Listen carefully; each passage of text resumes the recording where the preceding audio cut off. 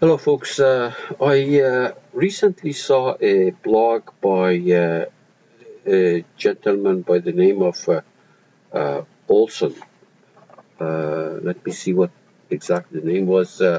Ray Olson from Rand Corporation.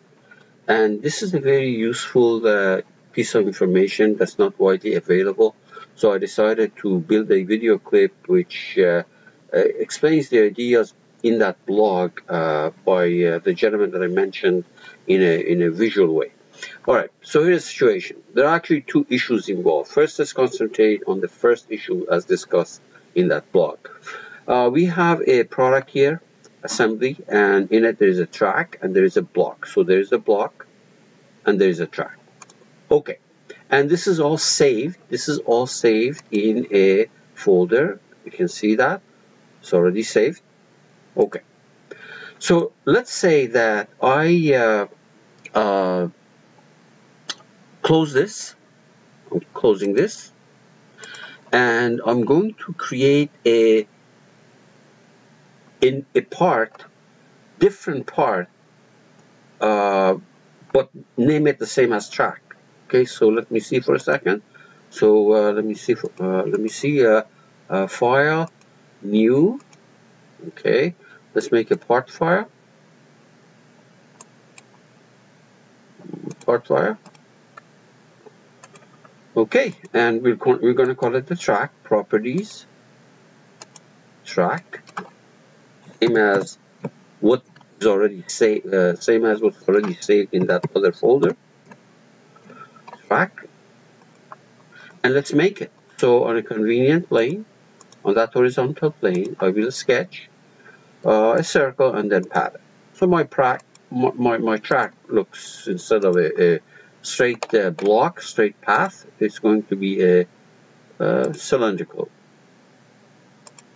path. Okay, now, what I would like to do is I would like to save this same file, this file, in that same folder. So let's say file save management. There is a track save as. Same name basically it's going to replace this okay?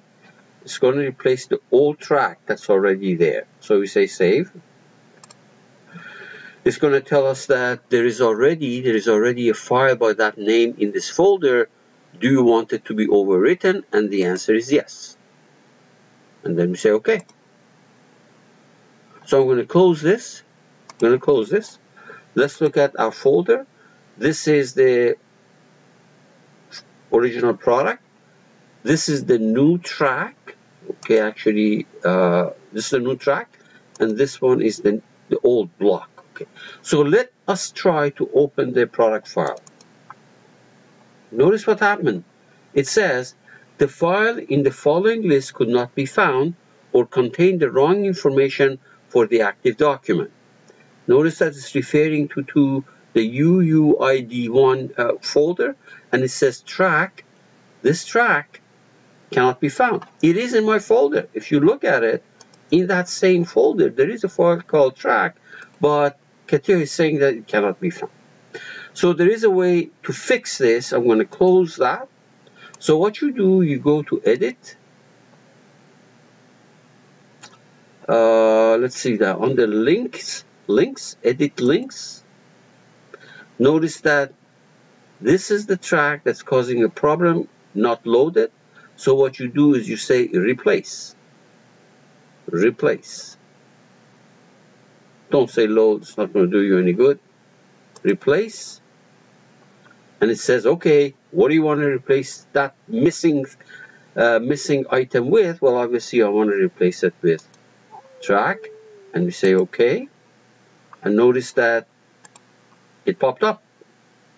Okay? Now, suppose we save this, we exit, and go back to the product and start again. There is no problem. So, when we replaced the original track with a new one, the link was lost, and that's what that block is referring to. Alright, so that takes care of the first item. So I will prepare the another video segment which covers the second part of the blog. Okay?